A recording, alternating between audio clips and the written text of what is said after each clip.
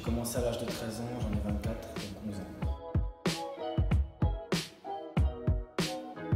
Parce que à la base, euh, bah, petit j'étais un petit peu turbulent, donc du coup il fallait me canaliser comme pas mal de gens et je me suis mis au judo, donc à l'âge de 4 ans. Donc j'étais en compétition aussi, jusqu'à l'âge de 13 ans et après à 13 ans j'ai voulu un sport complet euh, où il y a des percussions, donc la boxe taille c'est le sport de combat le plus complet en pied-point, la boxe taille qui est one, qui est boxing.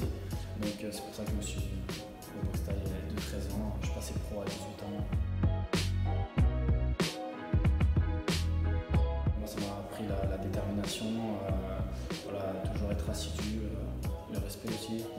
Son entraîneur. Voilà.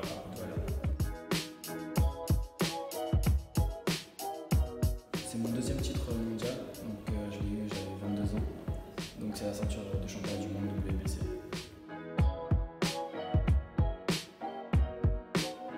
Ouais, ça représente une très, une très belle organisation. Donc, voilà, ça change de- des, des galas euh, quotidiens. Et en plus sur Paris, euh, donc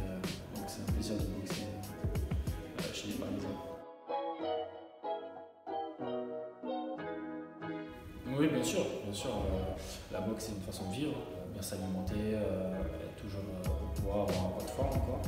Donc le bien-être, pour moi, ça, ça, ça, s'associe très bien.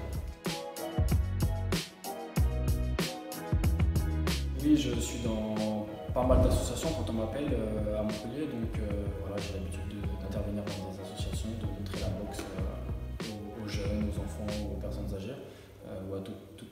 de personnes atteintes d'une maladie. Donc euh, voilà, c'est avec plaisir que je le fais, et, dans plusieurs associations.